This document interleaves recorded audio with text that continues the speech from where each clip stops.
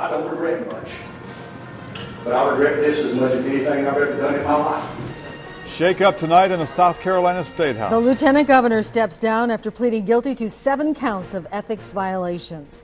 Good evening, everyone. I'm Carol Goldsmith. I'm Michael Cogdill. He was the former lieutenant governor when he apologized in court this afternoon. Ken Ard resigned this morning, admitting he violated ethics laws with his campaign money. Ard pleaded guilty to seven counts of ethics violations. News 4's Mandy Gaither is live at the State House in Columbia tonight. Mandy Ard said he unknowingly made the mistakes.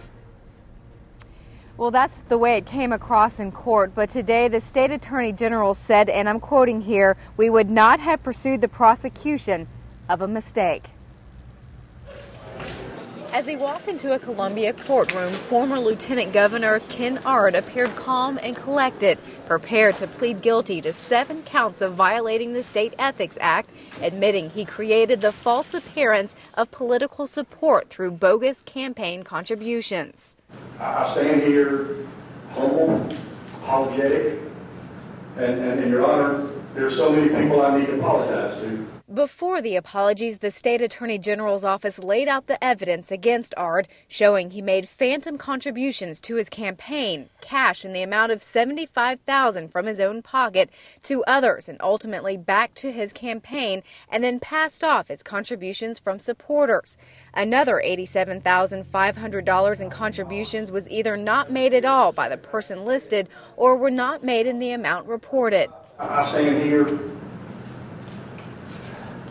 accepting 100% of the blame. Uh, whether I knew the rules or not, my name was on the sign. It was my responsibility and no one else's to make sure things were done the right way. And it's obvious early on they weren't.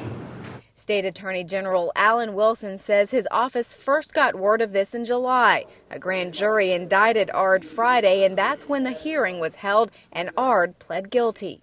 This is unprecedented. It has not happened before to my knowledge. There's no handbook on how to handle this. So we wanted to uh, handle this in a way that is as quick as possible to move it along so that the wheels of government could continue. Wilson said when Ard ran for state government, he should have made sure he understood the ethics law. He and Ard both entered office in January of 2011. I entered this day with a heavy heart. I leave it with a heavy heart. Um, there's nothing fun about this. To every person in South Carolina, whether they voted for me or didn't vote for me, they deserve better. After addressing the judge, Ard was given five years of probation and 300 hours of public service.